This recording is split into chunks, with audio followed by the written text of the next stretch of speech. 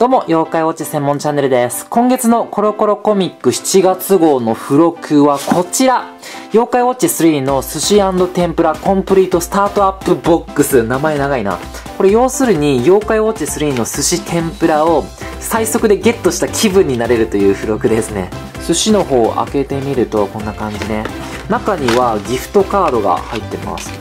じゃーんこちらギフトカードですね。表面にパスワードが書かれてて、妖怪ウォッチ3寿司天ぷら内で入力すると、コロコロ妖怪をはじめとする激レア妖怪が当たっちゃうみたいです。ちなみにですね、今月のコロコロコミックの内容なんですが、妖怪ウォッチ3の最新情報とか、映画妖怪ウォッチ第3弾のスクープ載ってます。ここにも新キャラ載ってますね、コアラニャン。あとですね、コアラニャンの妖怪ドリームメダルコンテストも開催されてて、コアラニャンのポーズを考えて応募すると、合計33,333名にコアラニャンのメダルが当たります。